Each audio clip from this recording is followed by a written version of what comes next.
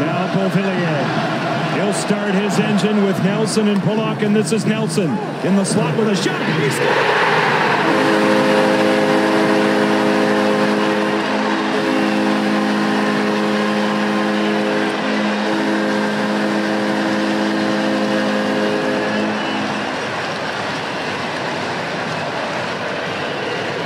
Brock Nelson had no goals in game five, Johnny, but he's been solid for the Islanders all series long. And here he is, Beauvillier again.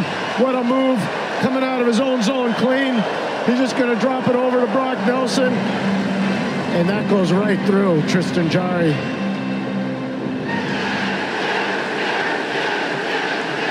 Pittsburgh will call timeout. This is going to have to be everything they got to dig deep out of this hole.